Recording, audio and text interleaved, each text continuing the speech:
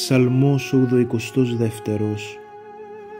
Ο Θεός τι ομοιωθήσεται εσύ, μη σιγήσεις, μη δε καταπραίνεις ο Θεός.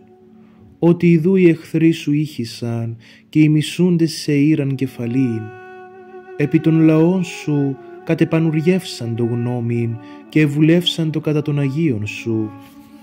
Ήπον δεύτε και εξολοθρεύσομεν αυτούς εξέθνους και ουμή μνηστεί το όνομα Ισραηλέτη ότι ευουλεύσαν το ενομονία επί το αυτό κατά σου διαθήκην διέθεντο τα σκηνώματα των Ιδουμαίων και Ισμαηλίτε Μωάβ και Αγαρινή Γεβάλ και Αμών και Αμαλίκα αλόφιλοι μετά των κατοικούντων Τύρων και Γάρ και Ασούρ συμπαραγένετο με ταυτόν, εγεννήθησαν εις αντίληψην της Ιης Λότ. Πίσον αυτής, ως τη Μαδιάμ και το Σισάρα, ως το Ιαβίν εν το χυμάρο κισόν.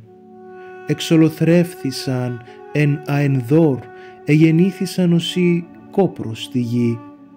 Θου τους άρχοντας αυτών, ως τον Ορίφ και Ζήφ και Ζεβεέ και Σαλμανάν πάντα στους άρχοντες αυτών. Ήτινες ύπον κληρονομήσομεν εαυτής το αγιαστήριον του Θεού.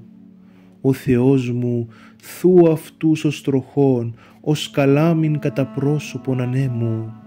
Ως υπήρ ο διαφλέξει δηρημών, ως η φλόξ ή κατακαύση όρη ούτω καταδιώξεις αυτούς εν την καταιγίδη σου και εν διοργή σου συνταράξεις αυτούς.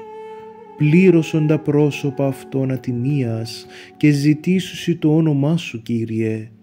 Εσχυνθήτωσαν και ταραχθήτωσαν εις τον αιώνα του αιώνος και εντραπήτωσαν και απολέσθωσαν και γνώτωσαν ότι όνομάσι Κύριος, σημόνος ύψιστος επί πάσαν την γη.